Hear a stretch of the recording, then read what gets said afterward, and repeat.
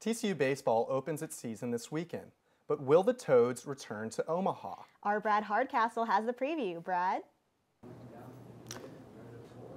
Thanks, guys. After last season's College World Series appearance, TCU baseball is ranked as high as number two in the country coming into the season. Players say they're confident the new starters can fill holes left by attrition, but it won't be easy. Here's more about who's leaving, who's returning, and how high this team's ceiling truly is.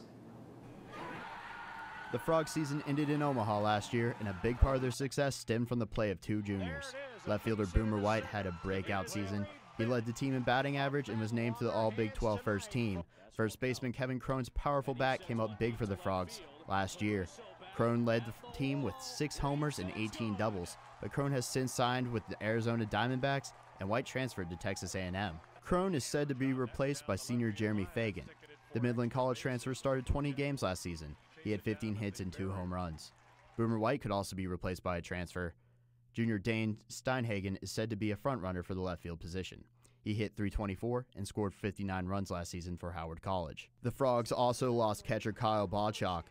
Schlossnagle said it's possible that two freshmen will split catching duties this season. Hurst, Texas native Zach Plunkett and Washington Nationals 34th round selection Evan Skoug are expected to be behind the plate in 2015. The position that remains the deepest for TCU is pitcher. The Frogs will have to replace last year's ace Brandon Finnegan, but Big 12 Player of the Year Preston Morrison is expected to fill that role, and sophomore Tyler Alexander will take over Morrison's Saturday duties. As for the Sunday starting position, it's still up in the air, but Schlossnagle said he thinks junior Alex Young has a great shot at making the weekend rotation. Coming out of the bullpen is projected first round pick Riley Ferrell. The closer has a fastball that tops out at 99 miles per hour.